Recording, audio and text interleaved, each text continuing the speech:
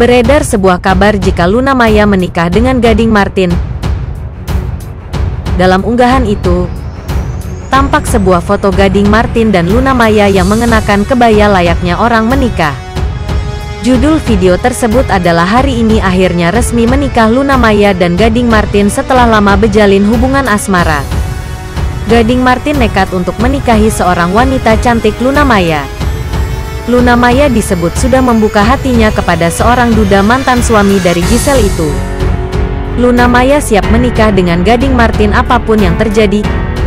Gading Martin mengungkapkan bahwa ia juga mencintai Luna Maya.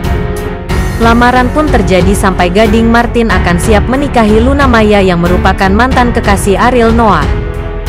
Luna Maya pun terharu sempat menangis mendengar perkataan yang diungkapkan seorang duda itu yaitu Gading Martin. Siapa sangkar takdir jodoh itu sudah ada yang mengatur dan kita tidak tahu kapan takdir berkata lain. Gading Martin dan Luna Maya baru-baru ini mencuri perhatian netizen di media sosial. Dari situlah tumbuh salah satu percintaan mereka berdua saat bermesra di Jepang. Hal ini lantaran Gading Martin dan Luna Maya terlihat begitu akrab saat liburan ke Jepang. Saat duduk Luna Maya dan Gading Martin pun kembali berbincang perihal kertas lamaran yang mereka dapatkan tadi. Kemesraan Gading Martin dan Luna Maya semakin menghebohkan publik atau bisa dikatakan jagat maya. Hubungan Luna Maya dan Gading Martin pun kini semakin mendalam. Menurut ramalan salah satu duda ini sedang mendekati wanita cantik Luna Maya.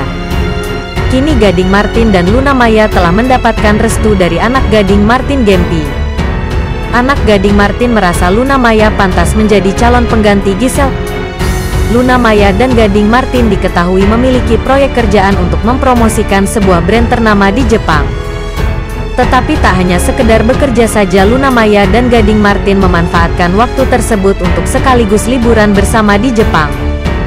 Gading Martin yang duduk di sebelah Luna Maya itu pun berpura-pura menangis dan diikuti oleh Luna Maya karena itu artinya Gading Martin dan Luna Maya sama-sama mendapat ramalan bahwa mereka akan sulit mendapatkan jodoh.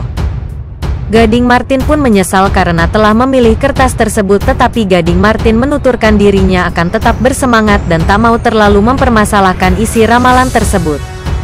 Netizen yang melihat kedekatan Gading Martin dan Luna Maya saat liburan ke Jepang pun terlihat senang. Bahkan banyak yang menilai kedekatan keduanya membuat mereka terlihat cocok satu sama lain. Isi yang disampaikan narator itu nampaknya tidak benar adanya sebab tidak ada kabar valid yang menyebut jika Luna Maya dan Gading Martin menikah.